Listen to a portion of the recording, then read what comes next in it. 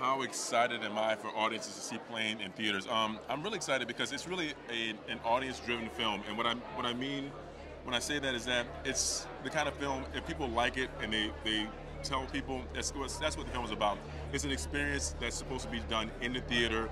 Word of mouth is what's going to make this this movie work. You know, um, the feedback has been great. So I think it's one of those movies you come in, you forget about everything, you get entertained. You don't. It's not a thinking movie. It's just it's an experiencing movie. It's like a white knuckler, engaged, leaning forward. What's going to happen next kind of movie? And I think people are going to really like that. So what was like uh, working with my co-stars? Um, I got really lucky. Um, obviously um, Gerard or Jerry, as I like to call him, because we've been we made we made friends right now. I mean, two months in Puerto Rico. I, I mean, Remi.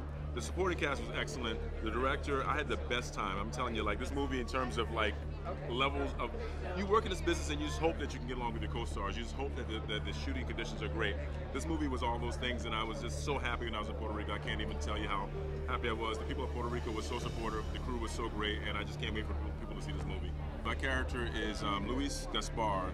He's a guy that's been accused uh, supposedly of murder. He's been extradited on a plane with passengers who are just going home for New Year's Eve um, the plane crashes and and basically everything changes. The officer that was um, that was taking him was killed, and now Gaspar is basically on his own. He's a guy of mystery. There's not a lot of backstory. What happens is you will find out more as the movie goes on, but his, things are not as they appear.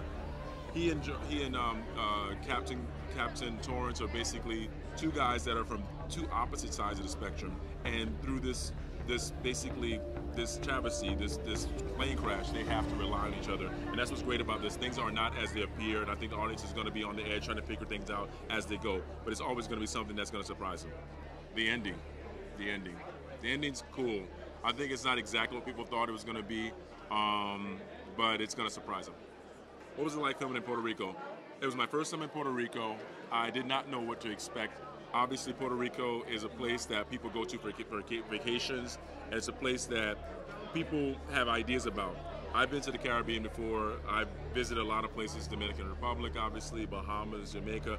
But Puerto Rico is exceptionally wonderful and unique in its own way. The people are so proud. The, the culture is so rich. The food is so good. Um, the landscapes, the scenery. I, I just had a great time. I mean, for two months, I'm literally thinking to myself, I was like, I gotta, I, maybe I could move to Puerto Rico. I'm not kidding you. I mean, it's just one of those great places, and um, my heart goes out every time I see that a hurricane or something has happened to Puerto Rico because Puerto Rico is a wonderful place, and I just hope the best for them.